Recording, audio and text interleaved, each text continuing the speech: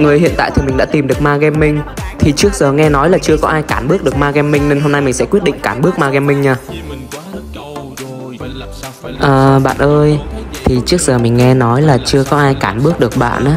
Thì không biết là như thế nào bạn ha? Những lời đàm tiếu qua loa linh tinh Không thể nào mà cản bước được ma gaming Của ý chí sinh tồn đến xây Buya đi bên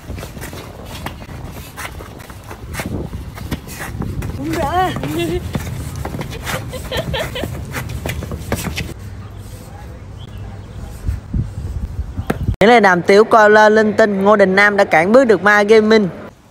Được rồi, đi đi.